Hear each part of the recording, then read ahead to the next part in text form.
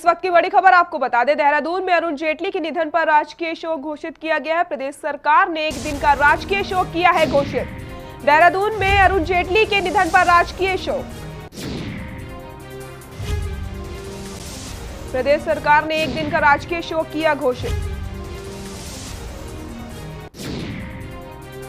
BJP ने अपने सभी कार्यक्रम को किया स्थगित।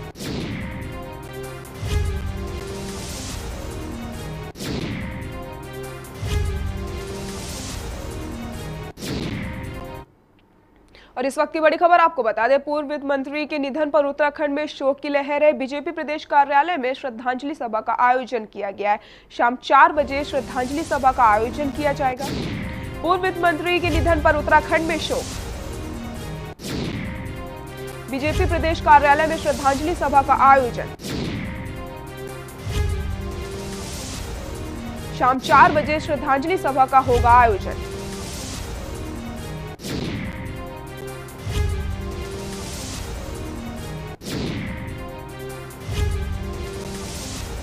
और ज़्यादा जानकारी के लिए हमारे संवाददाता हरीश खरेड़ा हमारे साथ जुड़ चुके हैं। हरीश कौन कौन शामिल होगा इस सभा में?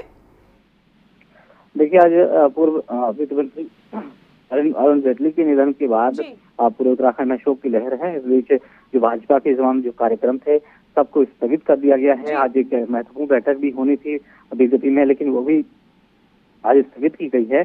तो कुल मिलाकर बात करें तो आज शाम चार बजे वित्त मंत्री के निधन पर जो पूर्व वित्त मंत्री हैं अरुण जेटली, उनके निधन पर आज शोक सभा का आयोजन किया गया है। इस बीच तमाम जो भाजपा के पदाधिकारी हैं, वो मौजूद रहेंगे। प्रदेश अध्यक्ष सहित उम्मीद ये भी लगाई जा रही है कि मुख्यमंत्री भी शामिल हो सकते हैं, लेकिन अभी की अगर बात करें तो जो भाजपा के जो तमाम जो बड़े पदाधिकारी हैं, वो सभी आज शामिल होने वाले हैं। इस शोक सभा के दौरान ठीक चार बजे आज शोक सभा बीजेपी प्रदेश कार्यालय में की जाएगी। और आज की अगर बात करें तो आज पूरे उत्तराखंड में शोक मनाया जा रहा है, शोक किया जा रहा है। तो जिस तरह से अगर बात करें तो राजकीय शोक इसे घोषित कर दिया गया है। आज पच्चीस तारीख को और पूरी जिस तरह से आज बीजेपी जो कार्यालय है, वहाँ पे सभी जो पदाधिकारी हैं साथ ही साथ जो कार्यकर्ता हैं, वो भी इस सभा में शामिल होंगे। जी।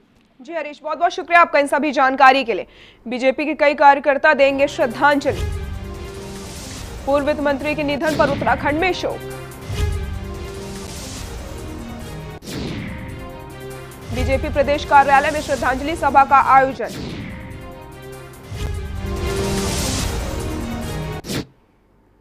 और अब रुक करते हैं खबरों का रुद्रपुर में बीजेपी विधायक राजकुमार ठुकराल ने एक कार्यक्रम में शिरकत की। इस दौरान बीजेपी विधायक ठुकराल ने कांग्रेस पर जमकर बरसे हैं और विधायक ने पूर्व सीएम हरीश रावत को आड़े हाथ लिया है।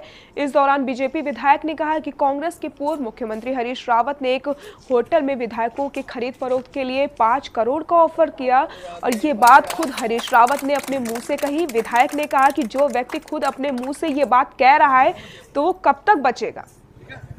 मैं रोज सुबह बैठता हूँ सात से दस। इतने बड़े घोटाले किए, इतनी बड़ी संपत्ति, मेरे खटोला गाँव का कोई आदमी निकल जाए तो इतनी संपत्ति, खरबों रुपए की संपत्ति इकट्ठी नहीं कर सकता।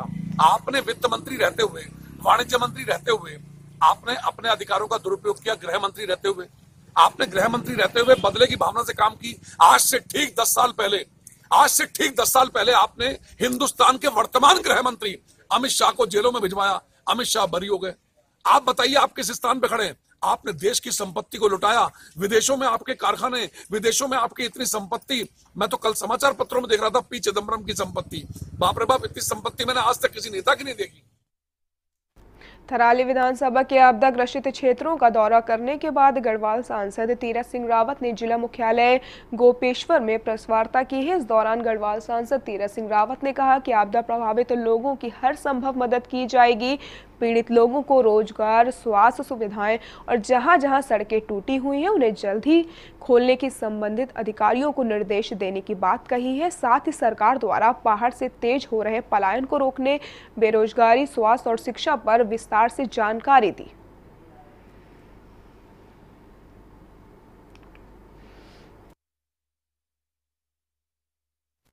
परिस्थितियों का प्रदेश है। संघर्ष किया पर्वतीय लोगों ने कि यहाँ की भौगोलिक परिस्थितियों के हिसाब से अपना राज्य होगा तो उस तरह का विकास होगा। लेकिन ये नहीं है, यहाँ ढुलान है, वहाँ से यहाँ लाना सारी चीज़। सीमेंट एक कई तरह का है तो उसमें गुणवत्ता नहीं आती है। क्वांटिटी, क्वालिटी तब होगी जब पूरा पर्याप्त धन, ये सारी चीज़ें उसके हिसाब से होगा। केदारनाथ धाम पैदल यात्रा मार्ग पर जगह जगह बरसाती नाले बह रहे हैं, जिस कारण यात्री जान जोखिम में डालकर केदारनाथ धाम की यात्रा कर रहे हैं। वहीं केदारनाथ धाम में लगातार हो रही बारिश के कारण धाम में चल रहे पुनर्निर्माण कार्य भी प्रभावित हो रहे हैं। केदारनाथ जाने वाले तीर्थ यात्रियों को पैदल मार्ग पर कई परेशानियों से होकर गुजरना पड़ रहा है। इसके अलावा पैदल मार्ग पर जगह जगह भूस्खलन भी हो रहा है। केदारनाथ में शंकराचार्य गद्दी स्थल आस्था पथ घाट आदि का निर्माण कार्य चल रहा है, लेकिन कई दिनों से हो रही बारिश से निर्माण कार्यों भी करना मुश्किल हो रहा है। जिला अधिकारी मंगेश घिंटियाल का कहना है कि बारिश से पुनर्निर्माण कार्यों में दिक्कतें आ रही हैं।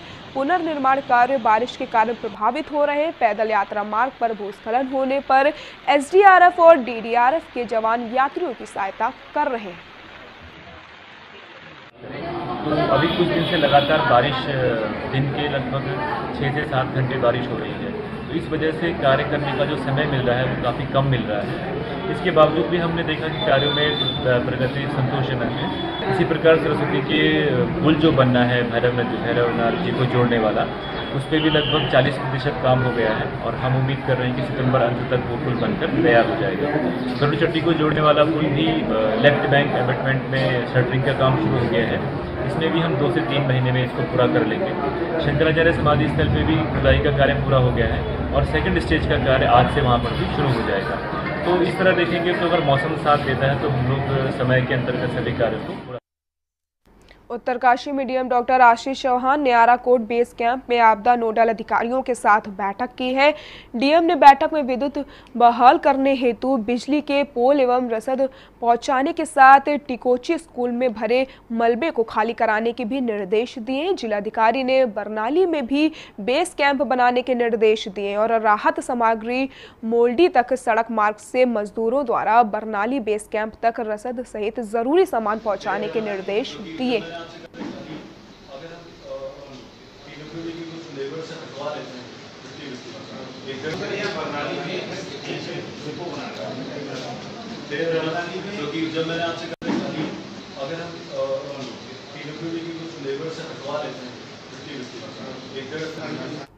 देहरादून में परमधाम न्यास के संचालक और क्रांति गुरु चंद्रमोहन महाराज पर उन्हीं के आश्रम से जुड़ी दो महिलाओं ने दुष्कर्म करने का आरोप लगाया है। राजपुर पुलिस ने घटनास्थल का निरीक्षण कर सहस्त्रधारा रोड पर मौजूद आश्रम से जुड़े लोगों के बयान दर्ज किए हैं। मामले में पुलिस अधीक्षक नगर श्वेता चौबे ने बताया कि राजपुर थाने में दो महिलाओं ने शिकायत दर्ज कराई कि 22 जून को पीड़ितों से एक महिला मीटिंग में भाग लेने में सहस्त्रधारा आश्रम आई थी। दिन में मीटिंग के बाद, रात में वह आश्रम के तीन शेड के नीचे ही सो रही थी। इस दौरान आश्रम से जुड़ी दो महिलाओं ने उसे जगाया और कहा कि चंद्रमोहन महाराज ने उन्हें कमरे में बुलाया आरोप है कि उस वक्त कमरे में जब वो महिलाएँ गईं तो चंद्रमोहन महाराज ने अपने साथी कुलदीप के साथ मिलकर उनके साथ दुष्कर्म किया।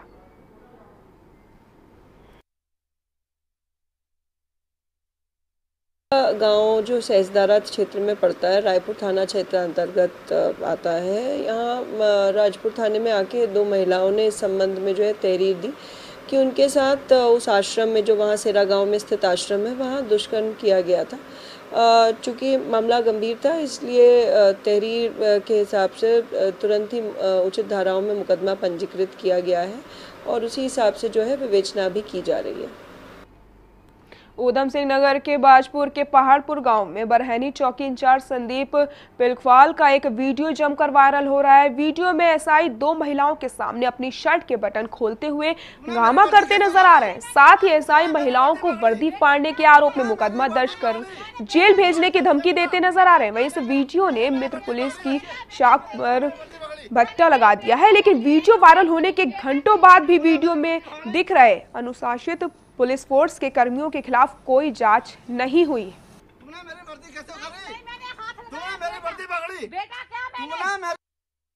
वारंटी के परिवार के साथ कुछ झड़प हुई कुछ कहा सुनी हुई तो उसको लेकर एक वीडियो भी वायरल हुआ है जिसका संज्ञान लेते हुए हमारे एसएसपी महोदय ने एक जाँच तुरंत इसके आदेश दिए हैं वो जाँच मेरे द्वारा संपादित की जा रही है और जाँच में जो भी तथ्य आएँगे उसकी रिपोर्ट जो है एसएसपी महोदय को प्रेषित की जाएगी उसके बाद ही अग्रिम कार्रवाई की जाएगी। और इसी खबर पर ज़्यादा जानकारी के लिए हमारे संवाददाता शायद खान हमारे साथ जुड़ चुके हैं। शायद सबसे पहले आपसे जानना चाहूँगी कि ये पूरा मामला क्या है?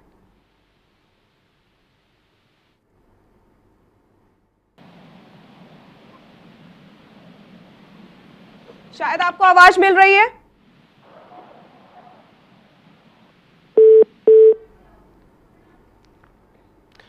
तो देख रहे हैं आप किस तरह से ये वीडियो वायरल हो रहा है एसआई का और वो महिलाओं के साथ किस तरह से बदसलूकी करते नज़र आ रहे हैं। अपने कपड़े की बटन खोलते नज़र आ रहे हैं और महिलाओं को धमकी दे रहे हैं कि उन्हें जेल भेज देंगे।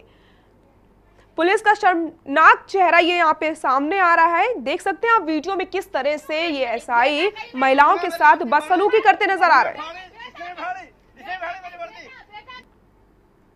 सूरज हत्याकांड मामले में पोस्टमार्टम रिपोर्ट के स्पष्ट रूप से मौत के कारण की पुष्टि न होने के चलते पुलिस प्रशासन ने न्यायालय में अनुमति लेकर मृतक का बिसरा फॉरेंसिक लैब रुद्रपुर को भेज दिया है। इधर हत्यारों के खिलाफ कोई कार्रवाई न होने से नाराज़ मृतक के परिजन मामले के खुलासे को लेकर आईटीबीपी के मुख्य द्वार के समक्ष अनिश्चितकालीन धरना प्रदर्शन कर रहे हैं। सूरज सक्सेना की मौत के मामले में शव की पूरी तरह से छत विसत होकर खराब हो जाने के चलते पोस्टमार्टम रिपोर्ट में मृत्यु के कारण की पुष्टि नहीं हो सकी थी। धरना प्रदर्शन के दौरान मृतक सूरज के परिजनों ने कहा है कि उनका प्रदर्शन तब तक जारी रहेगा जब तक उनके बेटे को न्याय नहीं मिल जाता और असल कातिल फांसी के तख्ते तक नहीं पहुँच जाता।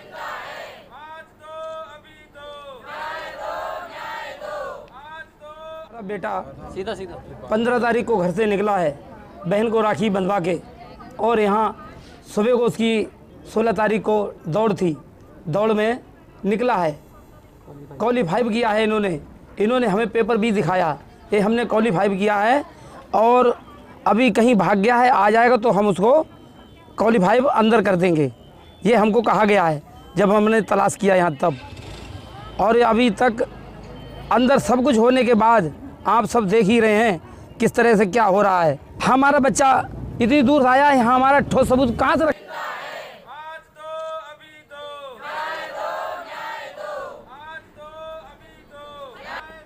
और इसी खबर पर ज़्यादा जानकारी के लिए उमेश पंत हमारे साथ जुड़ चुके हैं। उमेश, क्या कुछ है पूरा मामला? आपसे जानना चाहूँगी।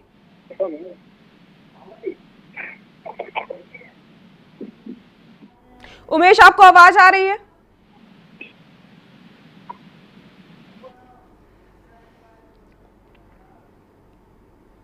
सैत्रधारा रोड, देहरादून के एक निजी शिक्षण संस्थान की टायर फटने के कारण बस सड़क किनारे एक गड्ढे में घुस गई और हादसे में करीब छह से अधिक छात्र छात्राएँ घायल हो गए हैं। जिन्हें स्थानीय निवासियों ने पास के अस्पताल पहुँचाए तो वहीं इस हादसे में बस की विपरीत दिशा से आ रही एक कार भी चपेट में आ गई, जिसमें सवार दंपत्ति गंभीर रूप से घायल हो गए। गनीमत रही कि इस हादसे में कोई हताहत नहीं हुआ है। हालाँकि कार सवार दंपत्ति की बुरी तरह से घायल होने के कारण उन्हें पहले सहसपुर सीएचसी में भर्ती कराया गया था, जहाँ चिकित्सकों ने उनकी हालत को गंभीर देखते हुए हायर सेंटर के लिए रेफर कर दिया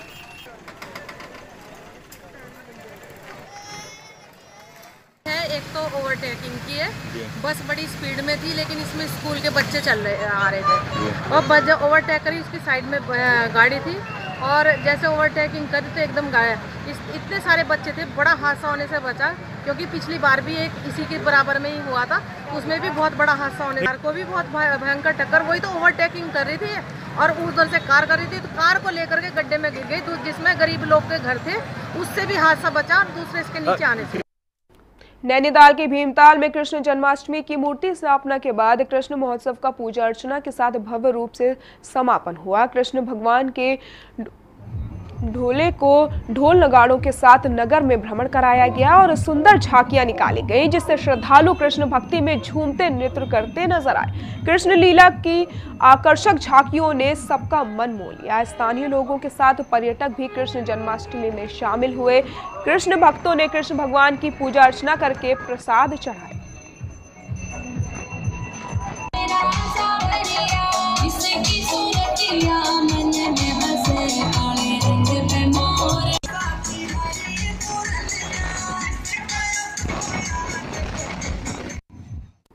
पहाड़ों में भी अब मटकी फोड़ कार्यक्रम को लेकर ग्रामीण क्षेत्रों में उत्साह देखने को मिल रहा है। पिथौरागढ़ और बागेश्वर की सीमा पर स्थित धर्मघर कस्बे में श्री कृष्ण जन्माष्टमी महोत्सव का आयोजन किया गया, जिसमें धर्मघरम कस्बे में श्री कृष्ण झांकी निकालने के साथ ही रंगारंग सांस्कृतिक कार्यक्रमों का आयोजन किया गया और मटकी फोड़ प्रतियोगिता में 24 से अधिक टीमों ने प्रतिभाग किया।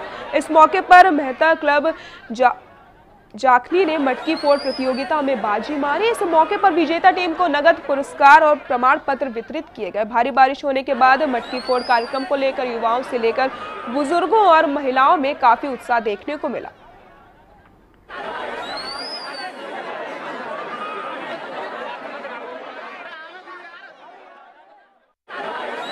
भगवान श्री कृष्ण जन्मोत्सव के इस पावन पर्व पर धर्मगढ़ में विगत कई सालों से धर्मगढ़ के स्थानीय लोगों के द्वारा एवं गुरुकुल पब्लिक स्कूल धर्मगढ़ के सौजन्य से जन्माष्टमी महोत्सव मनाया जाता है। यह भगवान कृष्ण की झांकी निकाली जाती है। उसके बाद विभिन्न प्रकार के सांस्कृतिक कार्यक्रम स्कूली बच्चों के द्वारा यहाँ पर आयोजित होते हैं और जो मुख्य आकर्षण इस महोत्सव का रहता है, वो मटकी फोड़ कार्यक्रम होता है। उत्तराखंड में डेंगू के डंक ने सभी का जीना हराम कर रखा है। दिनों दिन डेंगू के बढ़ते मामलों ने स्वास्थ्य विभाग की नींद उड़ा दी है। इसी बात से स्वास्थ्य सचिव नीतीश कुमार झा ने स्वास्थ्य विभाग के अधिकारियों के साथ राजकीय दून मेडिकल कॉलेज चिकित्सालय में बैठक के इस बैठक में डेंगू से निपटने पर गंभीरता से चर्चा की गई है। साथ ही स्वास्थ्य सेवाओं को बेहतर करने पर भी अधिकारियों को निर्देशित किया गया है।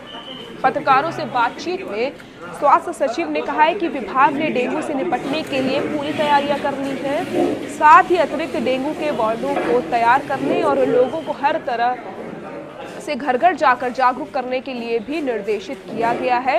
हालाँकि सचिव ने माना है कि अभी तक डेंगू के छह मरीजों में पुष्टि हुई है, जिसमें 180 मरीज़ अलग अलग अस्पताल में भर्ती हैं एपिडेमिक टाइप की सिचुएशन है। पूरे स्टेट में अभी तक 636 जो है कंफर्म डेंगू केसेस हैं, जिसमें आज की तारीख में लगभग 180 पेशेंट्स जो हैं, वो भर्ती हैं। किंतु किसी चीज़ की चाहे ब्लड की जैसे अखबारों मारे थी कमी है, इस तरह के प्लेटलेट्स की कोई कमी नहीं है। और अभी तक सिर्फ़ छः या सात पेशेंट्स को ही प्लेटलेट्स देने की ज़रूरत पड़ी है। तो लोगों से यही अपील है कि ये कोई पैनिक सिचुएशन नहीं है। बस एक प्रिवेंशन रखें, अपने आसपास देखें कि कहीं जो डेंगू के मच्छर और ये अपने घरों में वहाँ ना पल रहे हों। और हमारी टीम जो है, उन्होंने आइडेंटिफाई किया है छः वार्ड जो रायपुर के हैं, जहाँ ज़्यादा समस्या है तो वहाँ वो घर घर पहले भी जा रहे हैं और एक इंटेंसिफाइड कैंपेन अभी हम लोग शुरू करने जा रहे हैं, जो तो एक वीक तक, हर घर तक हमारी टीम पहुँचेगी। रुद्रप्रयाग ज़िले का अंतिम गाँव गोंडार पंद्रह दिनों से अंधेरों में डूबा हुआ है। गाँव को जोड़ने वाली उरेड़ा योजना भी नाकाम साबित हो गई है, जिस कारण ग्रामीण अंधेरे में रहने को मजबूर हो गए हैं। सड़क मार्ग से आठ किलोमीटर से अधिक पैदल दूरी इस गाँव में पहुँचने के लिए तय करनी पड़ती है, जबकि बिजली जैसी सुविधा न होने के चलते ग्रामीण शाम ढलते ही घरों के अंदर कैद हो जाते दरअसल दो वर्ष पूर्व उरेड़ा विभाग ने करोड़ों रुपए की लागत से गाँव के नज़दीक बहने वाले गधेरे में एक जल विद्युत परियोजना का निर्माण किया था, जिससे गाँव को बिजली मुहैया करवाई जा सके। को क्या पता था कि उरेड़ा की ये योजना ग्रामीणों के लिए मुसीबत साबित होगी समय समय पर सही मेंटेनेंस न होने के कारण ये विद्युत व्यवस्था खराब होती जा रही है। वही बिजली न होने से नौनिहालों का पठन पाठन खासा प्रभावित हो रहा है। ग्रामीणों द्वारा उरेड़ा विभाग के अधिकारियों को कई बार अवगत कराने के बाद भी विभाग के अधिकारी ग्रामीणों की फरियाद सुनने को राज़ी नहीं है। ग्रामीणों ने उरेड़ा विभाग के अधिकारियों से कई बार आपूर्ति को सुचारू करने की गुहार लगाई है, मगर आज तक आपूर्ति ठप होने से ग्रामीण अंधेरे में रात गुजारने को विवश।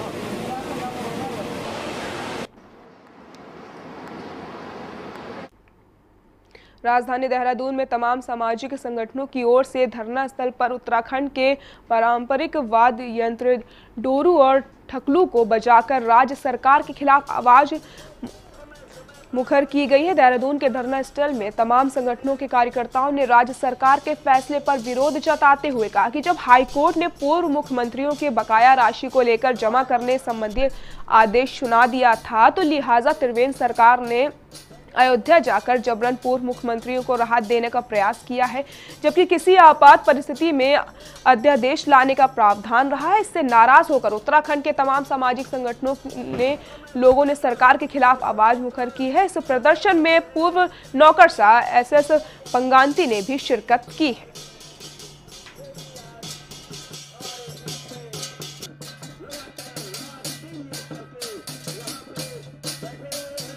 इसका मूल कारण तो यह है कि प्रदेश सरकार ने मुख्यमंत्रियों के लिए उनकी सुविधाएँ बनाए रखने के लिए और उनको जारी रखने के लिए आ, सरकार ने नैनीताल हाई कोर्ट के जो न्यायालय है और जो उत्तर प्रदेश और अन्य राज्यों के संदर्भ में माननीय सुप्रीम कोर्ट के भी जो आदेश हैं उसकी एक तरीके से अवहेलना और अपमान किया है और सरकार ने वित्तीय अनुशासन लाने के बजाय मात्र चार पाँच लोगों के लिए एक अध्यादेश लेके आ रही है और इसका गैरसैंण राजधानी निर्माण अभियान प्रखर विरोध करता है, सामाजिक संगठन विरोध करते हैं। सरकार की सोच में ये भूत आ चुका है जो और जो जन विरोधी क्रियाएँ कर रहे हैं, निर्णय ले रहे हैं, उसके लिए डौर तकली रैली का आज आयोजन कर रहा है। मुख्यमंत्री क्या क्या हमारे मुख्यमंत्री बिना आवास के क्या है? ये घर घर घर बार नहीं है इनके पास क्या? इनके पास आलिश, आलिशान मकान है। अगर इनको खाली करा दिया जाए तो कौन सा आपात आने आने वाली थी? तो ऐसे में ये कानून का जो ये संवैधानिक ढांचा है, हमारे उसको आघात करना है। आपका जो हमारे लोकतंत्र के तीन स्तंभ जो माने गए हैं, विधायिका, न्यायपालिका और कार्यपालिका, इनके कर्तव्य अलग अलग है। इनका जो डिवोल्यूशन डिवोल्यूशन पावर जो हो रखा है, उसके अनुसार अलग अलग है विधायिका का काम केवल कानून बनाना है आवश्यकता अनुसार कानून बनाया जाए। जहाँ एक और पूरे प्रदेश के विद्यालयों में शिक्षकों की कमी के कारण बच्चों का पठन पाठन प्रभावित हो रहा है, जिसमें कई स्कूलों के बच्चे आंदोलन तक करने के लिए मजबूर हो गए। विद्यालय में शिक्षकों की कमी को देखते हुए डीएम पौड़ी ने ऐसे विद्यालयों की लिस्ट तैयार करने को निर्देश दिए हैं। शिक्षा विभाग को जिन विद्यालयों में शिक्षकों की भारी कमी है, जिस वजह से बच्चों का भविष्य खतरे में है, डीएम पौड़ी ऐसे विद्यालयों का चयन करने, इन विद्यालयों में ई क्लास शुरू करने जा रहे हैं, जिसमें बच्चा आने वाले सवालों का जवाब स्कूल में बैठी ही क्लास द्वारा ले सकता है। ऐसी क्लास ऑनलाइन चलाई जाने की योजना डीएम पौड़ी धीराज सिंह ग्रेयाल ने तैयार की है, जब शिक्षा विभाग ने इसे जल्द शुरू करने के लिए कमर कस ली है, जिससे बहुत हद तक शिक्षक, शिक्षकों की कमी से राहत मिलेगी। दूर दराज के इलाकों में अगर ये योजना सही ढंग से काम करती है तो आने वाले समय में शिक्षक विहीन विद्यालय भी पढ़ाई की जा सकेगी।